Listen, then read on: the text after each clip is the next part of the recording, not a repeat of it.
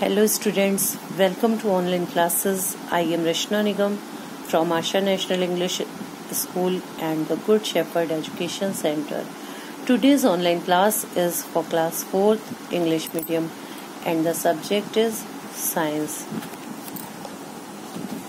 lesson two how plants make and store food इस video में हम पढ़ेंगे कि प्लांट्स किस प्रकार से अपने भोजन को यूज़ करते हैं। जैसे अभी आपने लास्ट वीडियो में पढ़ा कि प्लांट्स कैसे पत्तियों में अपना भोजन बनाते हैं। आज हम जानेंगे कि ये कैसे उसे यूज़ करते हैं।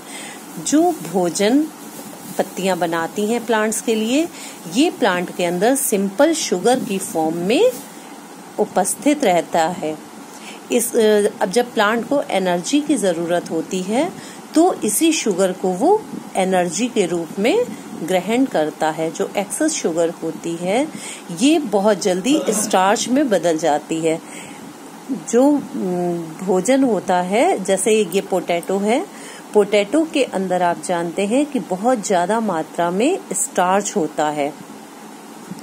और जो अनाज होते हैं, उनके अंदर भी बहुत ज़्यादा मात्रा में स्टार्च होता है, जैसे शुगर केन है।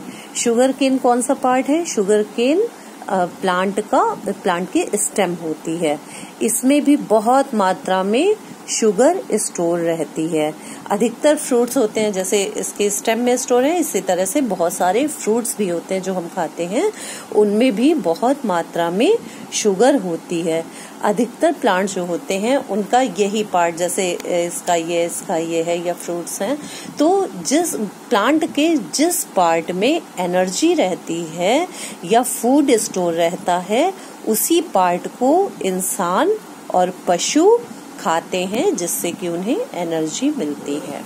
Okay students in the next video have a nice day